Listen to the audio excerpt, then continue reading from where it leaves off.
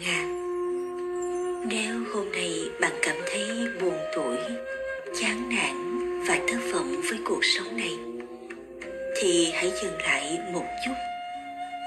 Người gieo yêu thương chỉ muốn nói rằng Sự có mặt của bạn trên cuộc đời này đã là điều rất tuyệt vời rồi. Tương lai sau này còn rất dài. Đừng vì một ngày u ám mà bỏ cuộc chứ. Sẽ có những đoạn đường trong gai làm bạn vấp ngã. Nhưng rồi bạn sẽ phải học cách tự lực đứng lên mà bước tiếp. Sẽ có đoạn đường bạn vừa đi vừa khóc. Nhưng đừng lo, Mọi thứ rồi sẽ ổn thôi.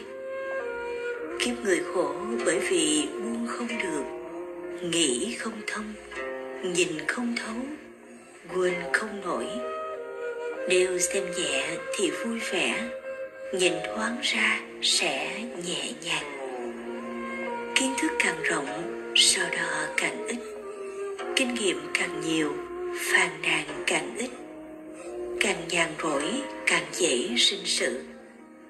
Dù bạn có làm tốt đến đâu, Vẫn có người sẽ không hài lòng, Thậm chí còn chê trách nữa.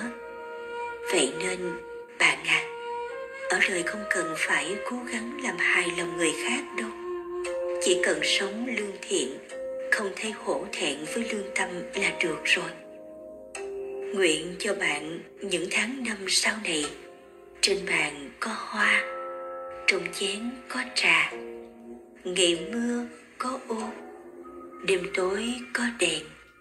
Trong lòng, hết lòng lo lắng cho ta